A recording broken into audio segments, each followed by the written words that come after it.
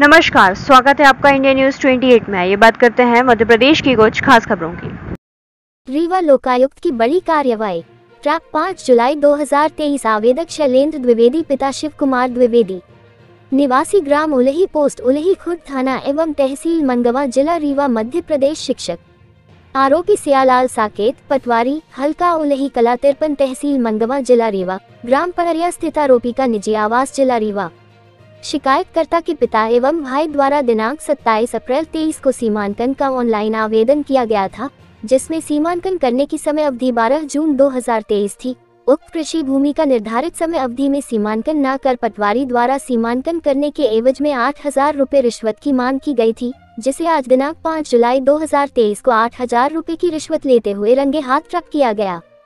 ट्रिपकर्ता अधिकारी जियाउल हक निरीक्षक ट्रैप दल के सदस्य प्रवीण सिंह परिहार डीएसपी निरीक्षक जियाउल हक सहित 12 सदस्यीय टीम रही। रीवा संभाग ब्यूरो राजीव तिवारी की रिपोर्ट?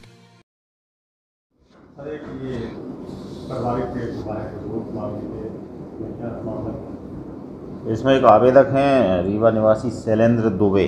ये पेशे से शिक्षक हैं इनका जो एक भूमि का सीमांकन होना था उस संबंध में अप्रैल माह में तहसील मन तहसीलदार मनगवा को आवेदन दिया था भूमि का सीमांकन कराने के लिए।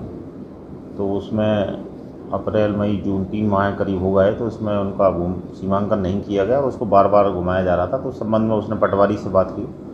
तो पटवारी जो है, वहाँ के उलई कला जो हल्का है, राम सिया, उससे इनसे मुलाकात हुई। तो उन्होंने जो है, उससे दस हज़ार रुपये की मांग की थी और दस हज़ार रुपये की मांग करने के बाद आठ हज़ार रुपये दोनों की बातचीत फाइनल हुई थी। तो आज जो है उसी में लोकायुक्त कार्यालय में जो है फरियादी के द्वारा हमारे पास शिकायत की गई थी उसका सत्यापन कराया गया और रामसिया शाह के जो पटवारी हैं उनको आठ हज़ार रुपये की रिश्वत लेते हुए रंगे हाथ अभी ट्रैप किया है और अभी कार्रवाई जारी है। कहाँ से प्रयास किया? उनका जो निवास है गाँव वहीं से पकड़ा है शैलेंद्र कुमार द्विवेदी। ये काहे के लिए पैसा मांग रहे थे आप अ, भूमि का सीमांकन करने के लिए। कितना मांग रहे थे? आठ हज़ार रुपये भूमि का सीमांकन आपका फंसा हुआ था। हाँ, भूमि- ये उलही कला। सत्ताईस अप्रैल का आवेदन था और 12 जून इसकी लास्ट डेट थी इसको पूरा करने की। तो 12 जून तक इन्होंने नहीं किया। जब हम इनके पास गए और इनसे संपर्क किया गया तो इन्होंने कहा कि अ, अभी आपकी फ़ाइल मिली ही नहीं है। और जब हम तहसील में जाके पता किए तो तहसील वालों ने बताया कि फ़ाइल पटवारी को दो दिनों के अंदर ही दे दी जाती है। फिर इनके दो बार, तीन बार इनके पास हम गए और आर आई साहब के पास भी गए। तो आर आई साहब ने बताया कि फ़ाइल तो यहाँ नहीं है तो आप पटवारी से संपर्क करिए। जब इनके पास गए तो इन्होंने कहा, फ़ाइल नहीं है। और वहाँ तहसील जाने पर ये पता चला कि वहाँ से जो है तो फ़ाइलें उठाई जाती हैं तो फ़ाइल ये तभी उठाते हैं जब इनको कुछ पैसा दे दिया जाता है। तो मैं फिर इनके घर गया मिलने के लिए और उनसे डायरेक्ट पूछा कि ये बताइए कि मतलब मेरा काम क्यों नहीं हो रहा? पटवारी साहब, कोई दिक्कत है कुछ? अगर आपको चाहिए तो आप मुझे स्पष्ट खुल के बताइए। तो उन्होंने ये कहा कि बिना खर्चा के पैसे माना बिना खर्चा पर्चा के कार्य नहीं होता है। और आप, और मैंने क्या किया था कि एक सौ इक्यासी में शिकायत भी इसकी कर दी थी, बारह तारीख के बाद, तेरह तारीख को, कि ताकि मतलब थोड़ा इनके ऊपर दबाव बने।